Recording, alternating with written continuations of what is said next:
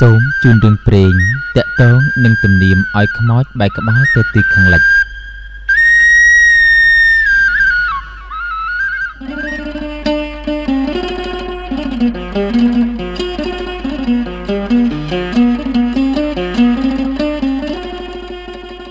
រឿងនេះមាននិទានតៗគ្នាមក តាំងពីកាលព្រះអេសូរកោជុកឲ្យព្រះគិនគ្នេសជាបុត្រ ដូចមានដំណាលក្នុងសាសនាព្រាហ្មណ៍ថាព្រះឥសូររៀបចំកោជុកព្រះភិក្ខុតែផ្លិចអញ្ជើញព្រះអង្គាព្រះអង្គាខ្ញាល់ក៏បណ្ដាលឲ្យកំបាត់កោ ទៅកាត់យកក្បាលព្រះភិក្ខុបោះចោលទៅក្នុងមហាសមុទ្រ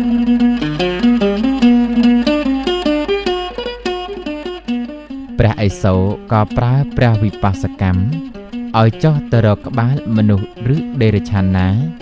ដែលដេកក្បាលទៅទិសខាងលិច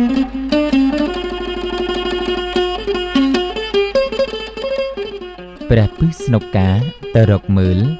ឃើញតែដំរីពីរដេកបែកក្បាលទៅទិសខាងលិចក៏កាត់យកក្បាលដំរីមួយទៅថ្វាយព្រះឥសូរក៏តបភ្ជាប់ឲ្យព្រះភិក្ខុនេះទើបព្រះភិក្ខុនេះមានក្បាលជាដំរី ព្រោះហេតុនោះ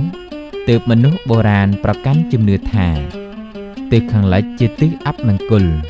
បើកាលណាមានមនុស្សស្លាប់ទើបគេដាក់ឲ្យបែរក្បាលទៅទិសខាងលិច